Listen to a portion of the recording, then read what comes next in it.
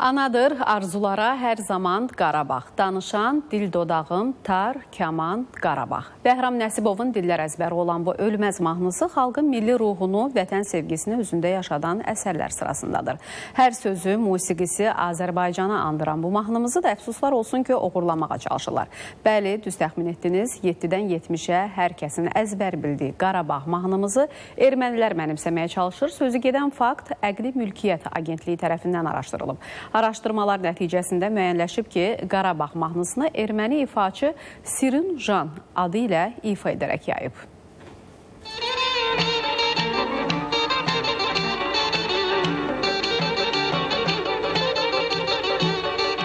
1972-ci ildə mətn və musiqisi görkəmli bəstəkarımız Bəhram Nəsibov tərəfindən yazılan Qarabağ mahnısı muğamın Cahargahlı adında yazılıb. İlk dəfə isə xalq artisti Arif Babayev tərəfindən ifa edilib. Anadılar uzular, Qarabağ, danışan dil qodalı, Qarabağ, Qarabağ, Qarabağ, Qarabağ, Bəhram Rəşəvovundu. Elə bir otaqda qalırdıq. Elə şahada oxuduq. Dillər əzbər oldu, şükür Allaha. Bu çamarlarda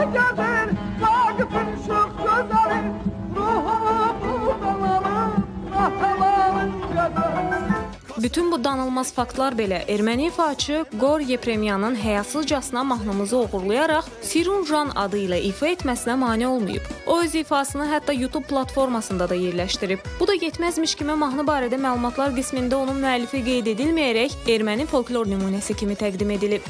Sirun Jan azmiyan ilk o gelinem darse Koseran nicht der kelov yes gusanem darse Dearim nazel yahim Bəhram Nəsibovun ən məşhur mahnılarından biri olan Qarabağ mahnısı 1972-ci ilin 2 iyun tarixində Əqli Mülkiyyət Agentliyində qeydiyyata alınıb və Azərbaycan musiqisi kimi tanınır. Agentliyin məlumatında da qeyd edilir ki, bütün arxiv sənədləri Qarabağ mahnısının Azərbaycan müəllifinə məxsus olduğunu göstərir. Arif müəllim, bu ermənilər yenə də öz ampulasındadılar. Yenə də bizim mahnımızı oğurlayıblar, özünküləşdiriblər həmin o Qarabağ mahnımızı.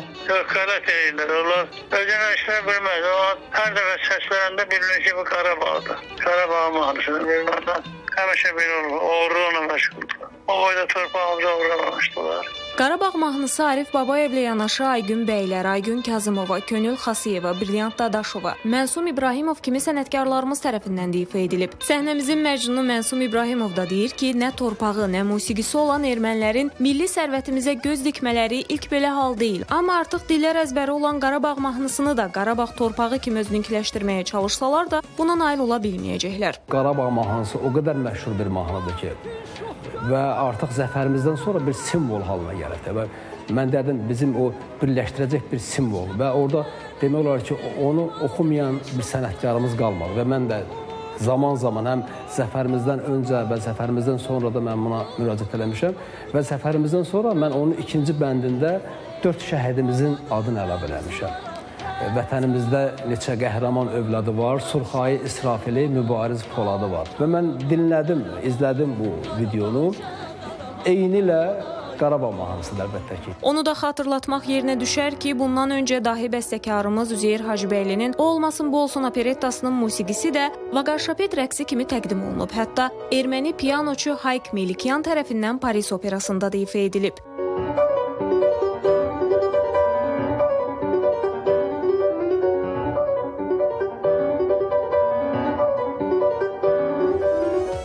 Da uzun illər bəri davam edən erməni ədəbi və musiqi oğurluğunun daha bir növbəti nümunəsidir. Digər tərəfdən bu həm də hazırda Azərbaycanla sözdə sülhdən, mehriban qonşuluqdan dəm vuran Ermənistanın da öz əli ilə imzaladığı əqli mülkiyyətə dair beynəlxalq konvensiya və müqavilələrin də kobud şəkildə pozulması deməkdir. Görünür Ermənistanla gələcəkdə imzalanacağı ehtimal edilən sülh müqaviləmizə də bu barədə ayrıca bəndin əlavə edilməsi qaçılmaz olacaq. Çünki özünü dünyanın ən qədim köklü və mədəniyyətlər yaradan xalq xalqı kimi təqdim edən ermənilərin gələcəkdə də gözlərini Azərbaycandan çəkəcəkləri inandırıcı görünmür axı. Qozbeli qəbir düzəldər deyiblər. Məli İnqilablı Fatimə Salmanova, Həsən Ağadadaşov, Şəlalə Şirinova, ATV xəbər.